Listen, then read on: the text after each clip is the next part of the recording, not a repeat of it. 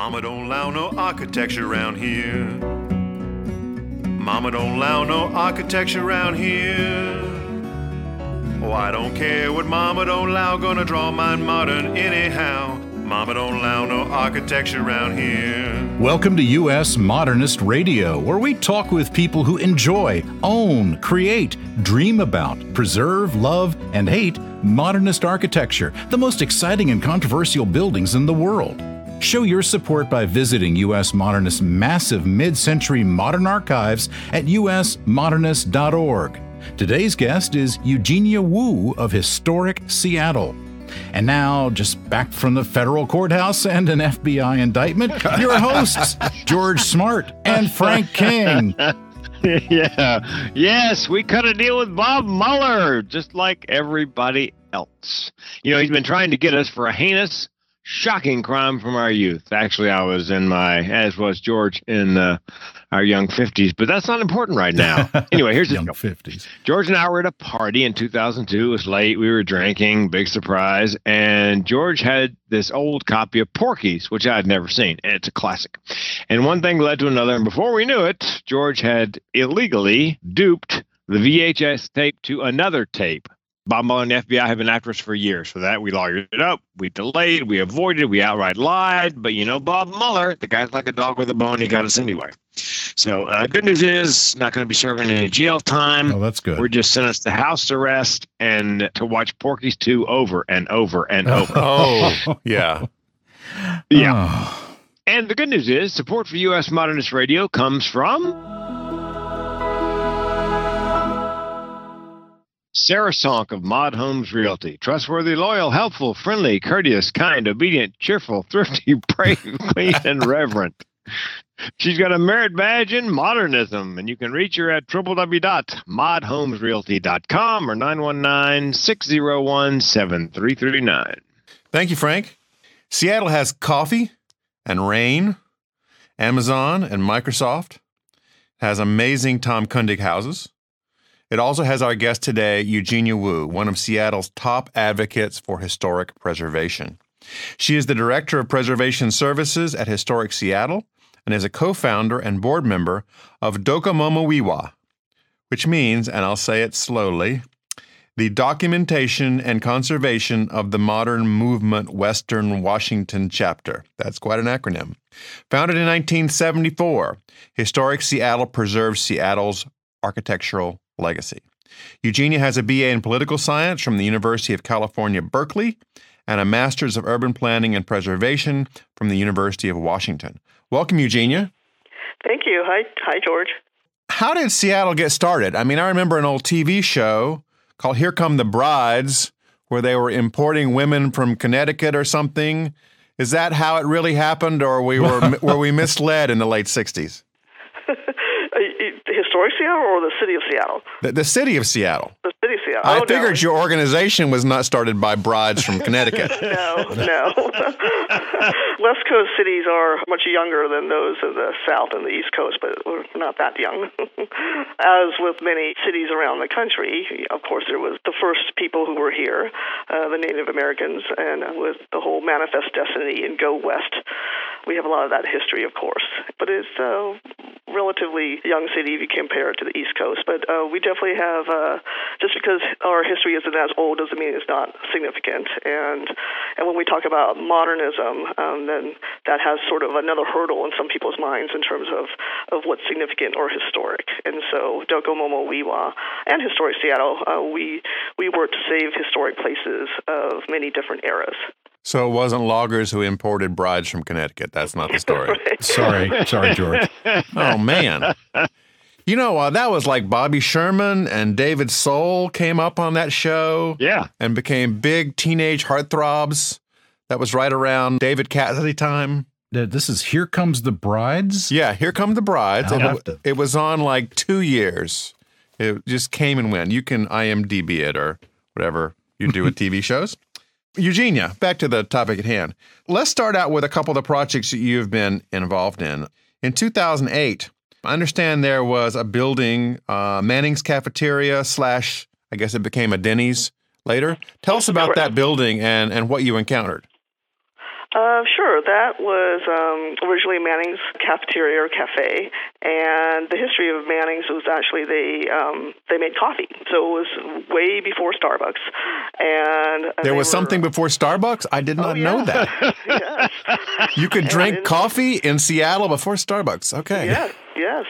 And they were located in Pike Place Market or historic public market. Um, Where people think- throw fish. Right. Okay. and so this Yes. was, I think, since the 1920s, and they actually um, opened up cafes uh, along the West Coast, so it wasn't just in Seattle.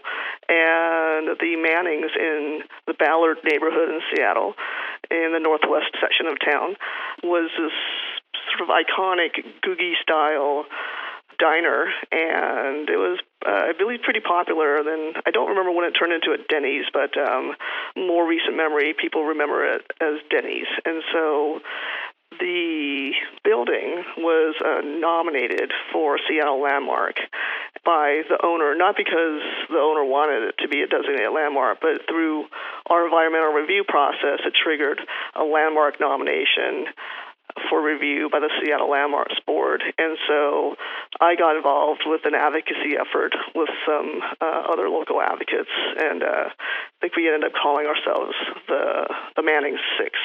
The Manning Six. Wow. Yes. That's like And, political uh, prisoners or something. there you go.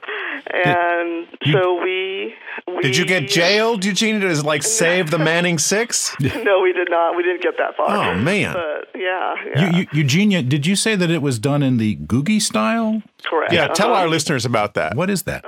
Okay, the Googie style. There's actually a uh, a book on it uh, by Alan Hess. Uh, Alan Hess, one of our former guests.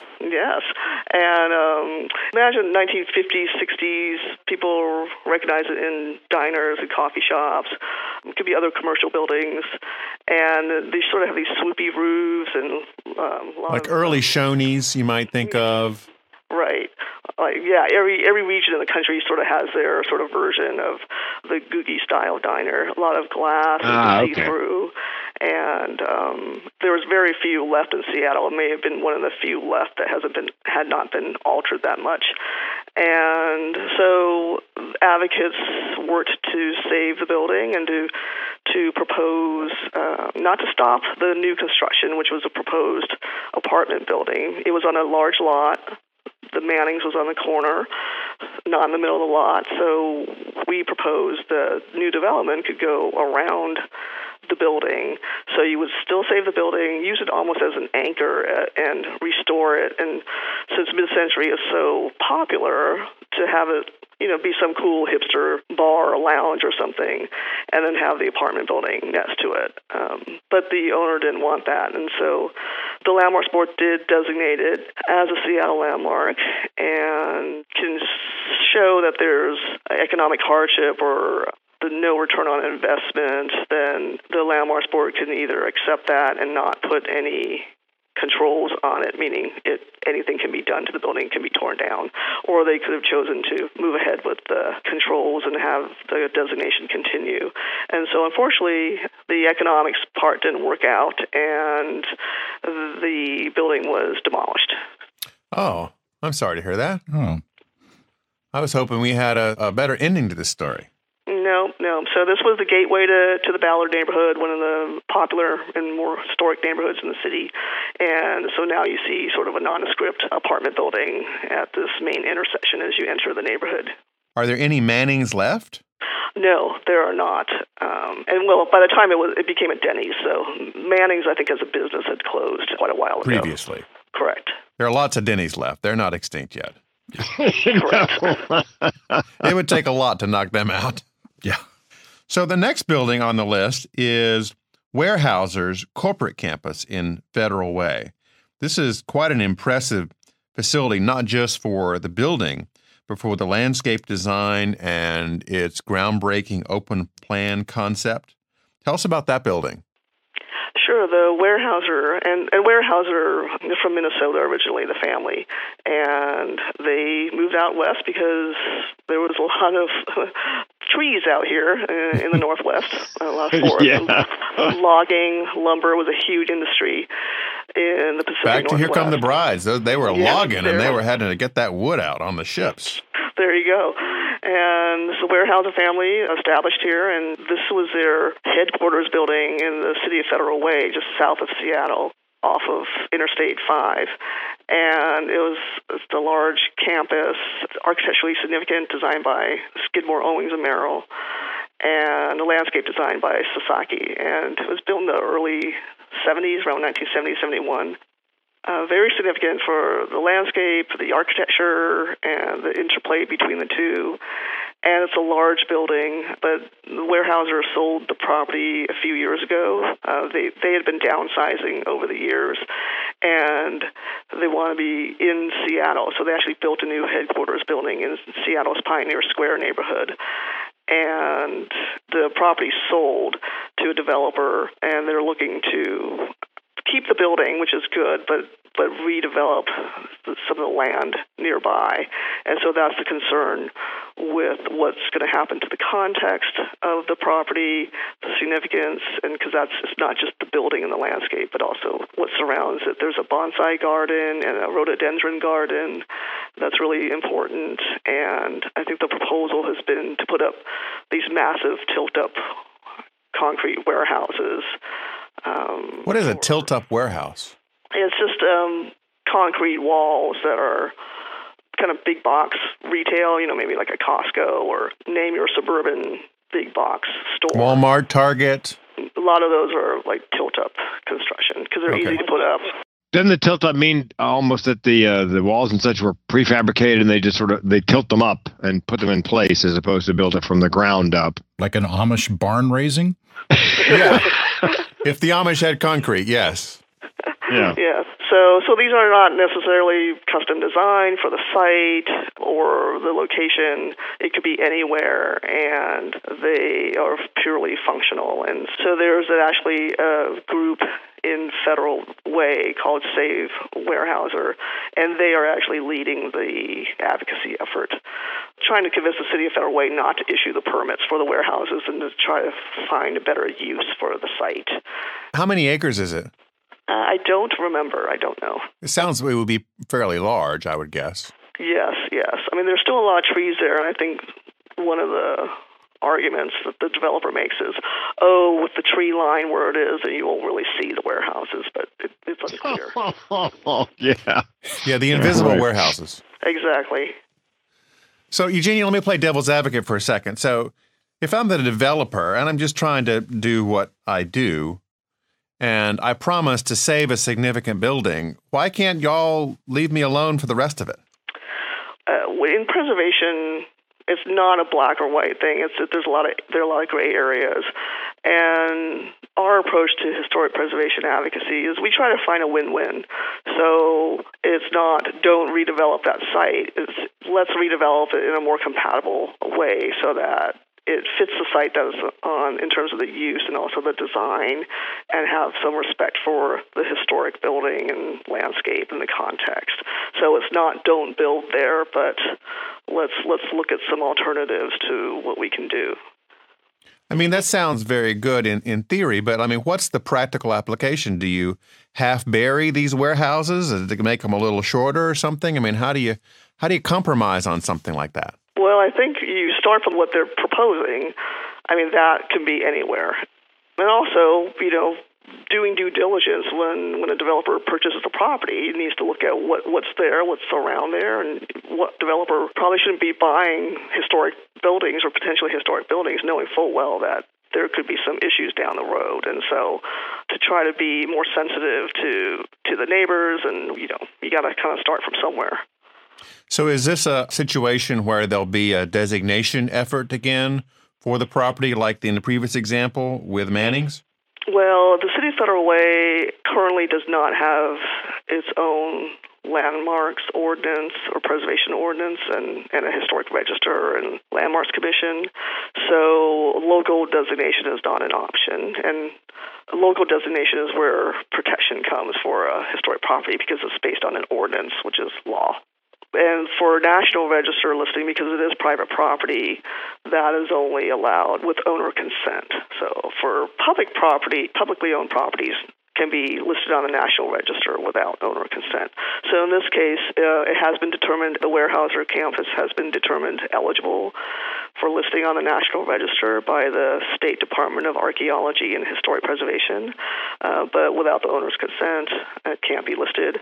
If it were listed, it would be eligible for federal historic tax credits, but whether those are going to be around is sort of up in the air given what's right. been going on with the tax bill. So that's sort of that. So the usual path of historic preservation of listing of property is not uh, an option at this point. And National Register listing in and of itself is honorary. It does not provide protection for a property. No, it, it doesn't have any special magic powers. No. So Manning's gone. Weyerhaeuser's still there, still working on that. Let's go to our third project.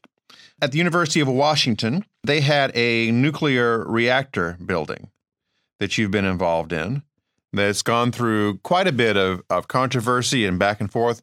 Tell us how that building came onto your radar and, and your journey through trying to protect it.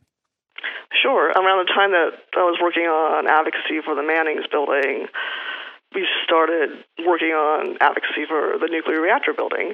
And when I say we, preservation is sort of most uh, effective when we collaborate. And so Docomomo WEWA, Historic Seattle, and the Washington Trust for Historic Preservation, which is Washington State's nonprofit statewide preservation organization. We were contacted by uh, a master's of architecture student who was on campus and she found out that the nuclear reactor building was going to be demolished. And so she connected with all three organizations to see what can be done to help save it. And the nuclear reactor building was built in 1961, and it was a research reactor and built at a time during the atomic age when nuclear energy was definitely more new and being researched and taken seriously as a source of potential energy.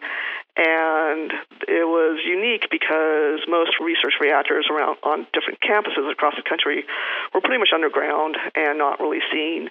This one, yeah, for good reason, I guess. Right. This one yeah. kind of it sort of cel- celebrated the era and the architecture, and it was designed by a group called the Architect Artist Group, or TAG.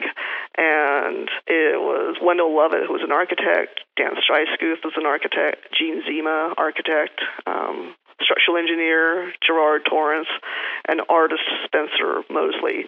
So this was actually a collaboration of art, science, and architecture. And uh, was it recognized at the time as being aesthetically pleasing? You know, at, at the time, I think it depends probably on who you talk to. I mean, definitely it was um, appreciated. I've talked to I've talked to people who were students at the campus at the time, and up until it was torn down, they said it was it was this little gem. It was one of my favorite buildings on campus, and and because it it was so different from everything else, the University of Washington campus initially was the site of the 1909 Alaskan Yukon Pacific Exposition, and uh, only four buildings are left from that period. As as you know, World's Fair buildings usually aren't built to be permanent, and so subsequently, many of the buildings designed there on the campus were more Gothic revival style. So this one stood out for its sort of size and its and its style and its use, obviously.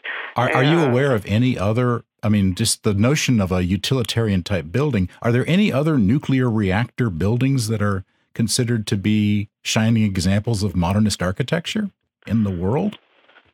That's a big question. I I wouldn't say I'm an expert on it, so in the world. okay. but I know in the research, uh, it is it was listed on the National Register of okay. Historic Places, and uh, and at a time when it was um, before it was 50 years old, so it met the exceptional significance criterion for the National Register, and it was clearly recognized as significant. The difference is the first floor was just all glass, so uh, a window, so you could actually kind of peek through and look look through, see kind of what's going on, and see oh, the researchers wow. working. And at night, it kind of glowed, and it had oh boy plaza in the front, so it's sort of connected to the hardscape. You want your nuclear building to glow. That has got to be a there requirement. or, or, maybe it, it's a built-in advantage. yeah, glowing from the lights, not from Right. uh, other things. But ultimately, the nuclear engineering program, I believe, was was closed at the university, and then the building was decommissioned. And I think in the 80s, and there was a whole pro- federal process to do that, as you can imagine. So by the, by 2008, it had been vacant for years, and but it just sort of stood there, kind of.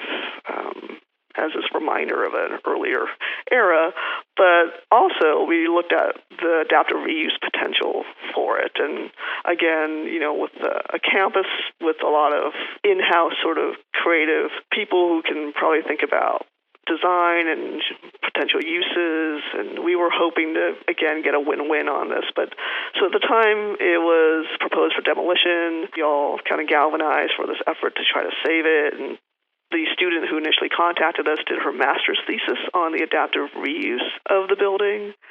There were T-shirts made. Students got involved. All these things. It was listed on the most endangered list by the Washington Trust, and we were trying to basically save the building. And ultimately, the recession hit, and that kind of saved the building for a while because the university didn't have the funding to build anything to replace it. But we knew it would come back, and in 2014, we were informed that. Uh, they wanted to demolish the building and replace it with a second new computer science and engineering building. And uh, there was one built 10 years prior just across the street that triggered environmental impact statement, which was an opportunity for public comment, and which we participated in.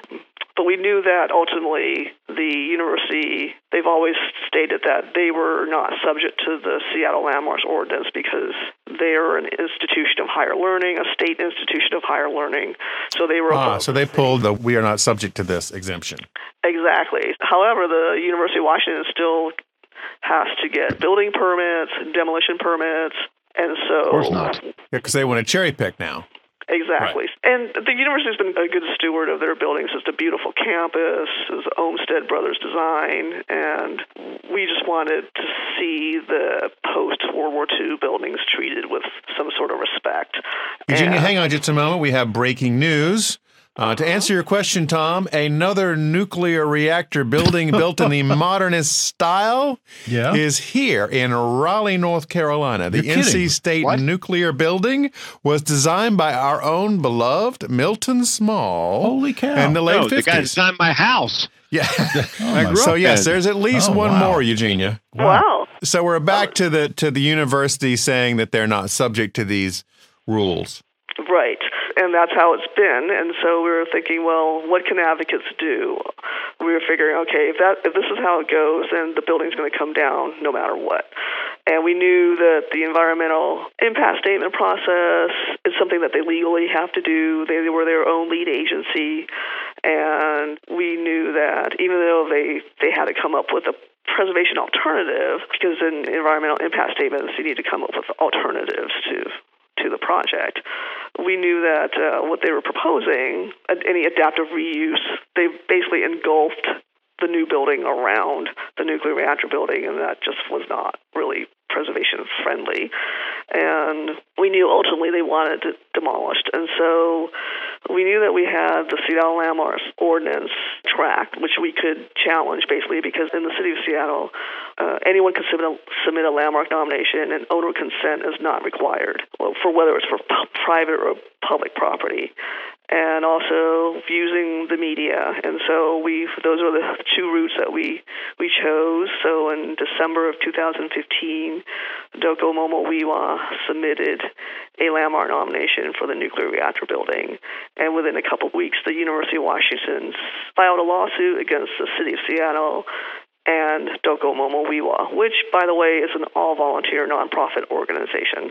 Ah, So you, you so obviously it was easy to lawyer up.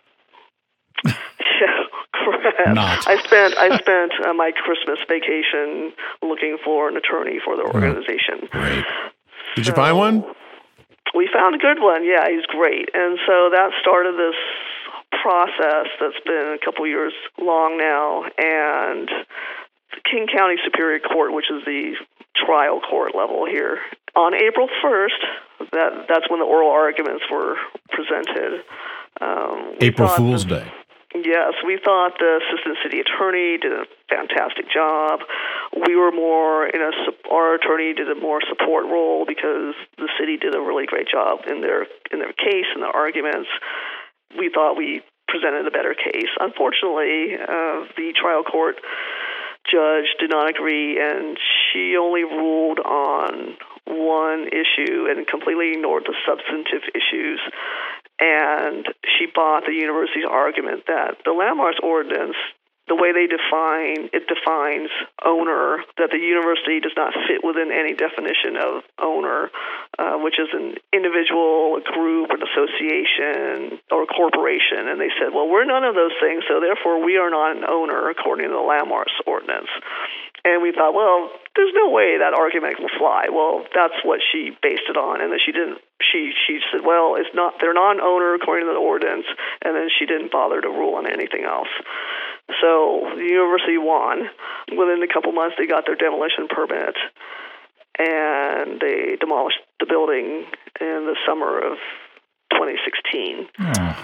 so and sorry we thought, well, what if we try to seek a stay on the demolition? Because if we appeal the decision, then we figured, okay, maybe the building will stay until it goes through the court system.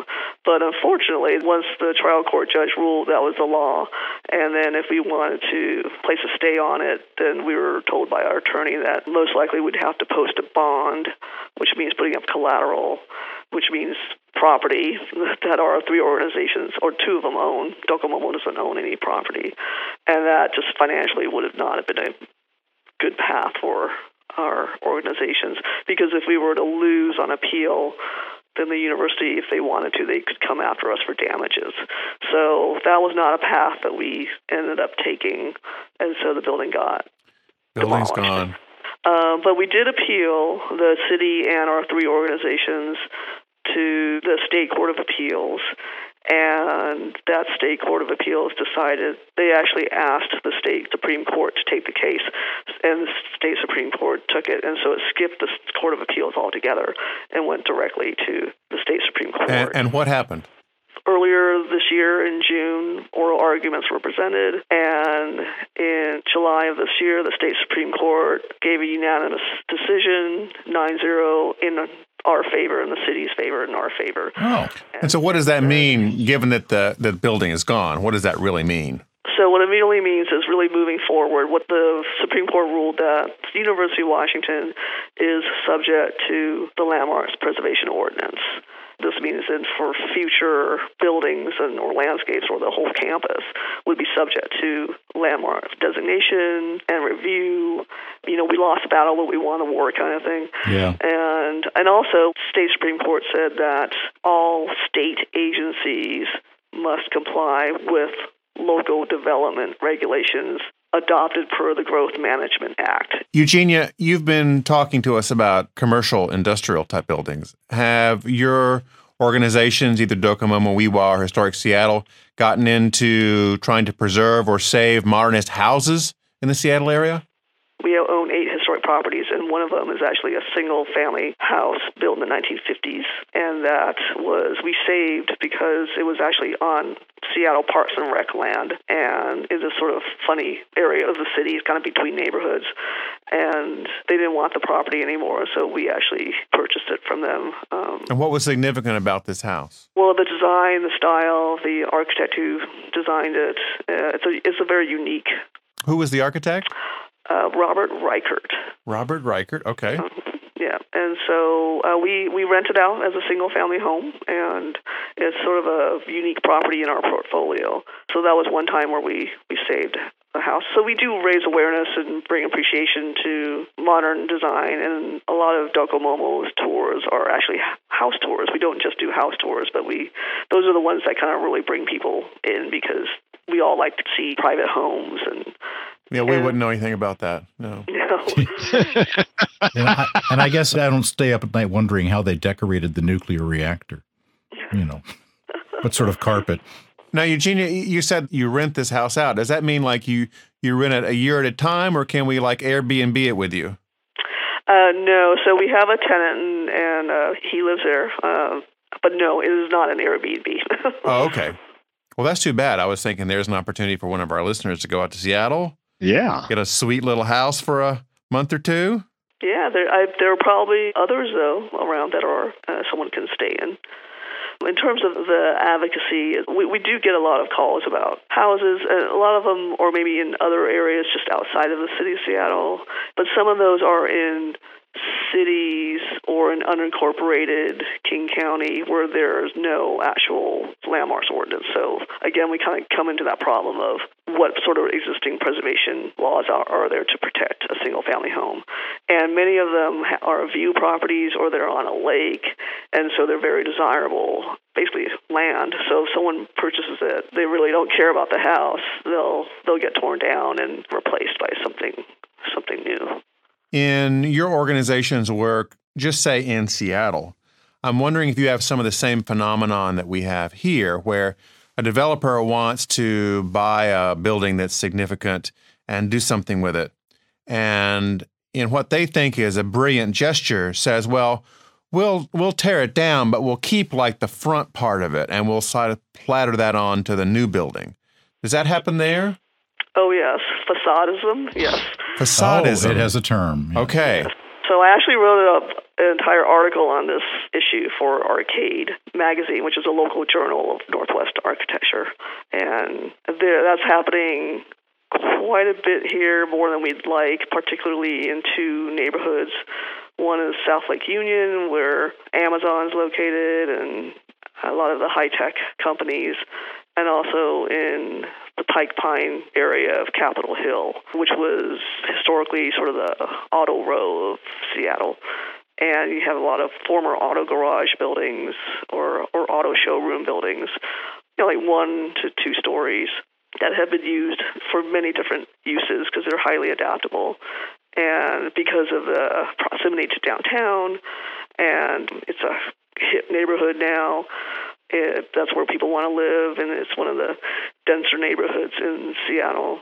Then what we're getting is a lot of these facadism projects where zoning allows for maybe up to 65 feet high, and but these buildings are more like one or two stories. And so if you keep the main facades, then you get an extra story, so you can build up to 75 feet. So there's actually a what's called a Pike Pine conservation overlay, and that's the incentive that gives developers extra height if they saved the Oh, facade. But, But, but this doesn't really do anything, does it? I mean, it just sort of splatters up the bit of the old building on the new structure. yes, exactly. Yeah. So they go through all this trouble just to it's well, if you look at my article, you'll see some photographs of what happens when essentially it's a demolition of the building, and you just have you know maybe some brick pilasters left or some walls, and but the windows are gone or they kind of put new ones in, and and then they put a new contemporary building up there. So you're not getting real historic preservation, and you're getting a kind of an odd new design. And so, I personally, in Historic Seattle and Docomomo, we support good new design. I mean, if things were better designed, then I think a lot of people wouldn't have as many issues. But we're not getting sort of the best built buildings in the city. So this is sort of like quitting my job, but still walking by the office every day and saying I work there. Or showing up in the company cafeteria to have a cup of coffee, Yeah. even though you don't Like, work yeah, I'm there. here. I'm here. Yeah. Eugenia, thank you so much for joining us today. I really appreciate your being part of the program and keep doing all the great work out there in Seattle. Well, thank you, Frank and Georgia. I appreciate it, and Tom, and um, really appreciate you asking me to participate. And I think it's great what you do. And um, go modern. Well, and before we go, guys, I want you to know that the nuclear reactor we spoke of in Raleigh was dubbed by the Associated Press as the t- first temple of the atom. Oh, It was the first non first non federally owned nuclear reactor. How about that? Wow. Everybody's doing Yeah. research today. We are our own research department. All right. Thanks for listening. U.S. Modernist Radio is underwritten by Sarah Sonk, your real estate angel for modernist houses, 919 601 7339. Okay, Tom, take us out. Visit usmodernist.org for more information about today's guest. US Modernist Radio is produced by Soundtracks Recording Studios in Raleigh, North Carolina. Our theme song was performed by George Smart and Robinson Earl. Cindy Stratton and the rest of us researches stuff in her pajamas from her secret underground bunker. U.S. Modernist Radio is a production of North Carolina Modernist Houses, a nonprofit educational archive for the documentation, preservation, and promotion of modernist residential design. I'm Tom Guild. Remember, it's not hard to find a good modernist architect. The real problem is finding a good modernist builder. Amen. George and Frank and I will be back in two weeks with another edition of U.S. Modernist Radio.